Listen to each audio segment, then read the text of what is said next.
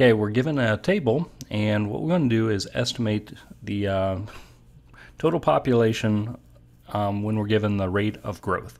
So really, in essence, what we're trying to do is find a definite integral between the years 1970 and 2000. Because the function name is r of t, that would go in here, and dt would go after it. All right, but to do this, what we're going to do is actually use left-hand limits, endpoints, and right-hand endpoints. And we're going to think of these as being uh, Riemann sums. So for the left-hand endpoints, we're going to start at the left-hand side, 1970, go up to 1.5, and then over to 1980 to kind of form a rectangle is how you can kind of visualize this. All right, so in 1970, um, it had a rate of 1.5. So that's like the height, right? The output value there of, of r of t. And that goes for 10 years. So we're going to multiply it by 10. Basically, we're calculating 1.5 multiplied by 10. We're trying to get the area of this rectangle. The next rectangle is going to start in 1980, go up to 1.9, over to 1990.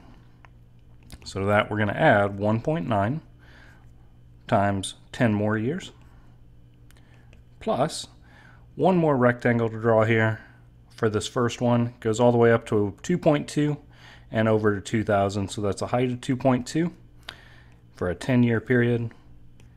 As we do all these calculations, we're going to work out to be 56 for our left-hand endpoints. All right, for right-hand endpoints, it's the same idea, except for a little bit different, that we don't draw these up on the left-hand side. Instead, what I would probably do is go ahead and start at the right-hand side, go up here, and then over to make a rectangle. So that's going to be the calculation 2.4 multiplied by 10, right? It still has 10 as the width of this rectangle, and 2.4 is the height of that rectangle plus, now we go up to 2.2, I guess that should technically be a little bit lower than 2.4. So 2.2 is the height multiplied by 10 years. And then we'll finish this up going only up to 1.9 over. So 1.9 times 10. This works out to be 65. Okay, so we got an underestimation using our left-hand endpoints on this one. We got an overestimation using the right-hand endpoints. So the best estimate of what the total population was um, is probably somewhere in between. So to get the best estimate possible, what I'm going to do is go ahead and take the average, 56 plus 65, divided by 2. This works out to be right about 60.5. All right, so that's probably going to be a better estimation uh, than the left-hand endpoints or the right-hand endpoints on this.